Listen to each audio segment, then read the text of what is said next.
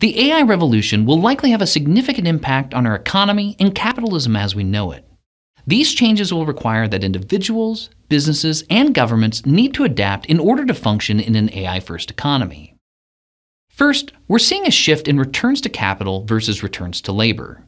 Returns to capital are essentially how much money you can make by investing in capital assets. These include investing in machines, software, data, and more. Returns to labor are essentially how much money you can make by soliciting your labor for income. This includes physical labor, knowledge work, and highly specialized labor. Over the past few decades, we've seen a continuous upward trend in returns to capital. As a result, the value you receive from investing in capital assets continues to increase. On the other hand, we've seen a continuous decrease in returns to labor. As a result, the value that you receive from each hour of your labor continues to decrease. Essentially, labor is becoming cheap and automation is becoming highly profitable. This phenomenon is referred to as the Great Decoupling.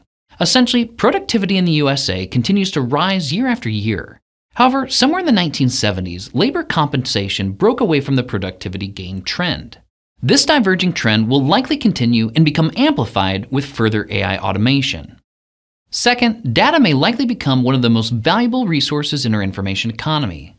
Those that have the most data and the ability to enable AI with data will wield tremendous power in our information economy.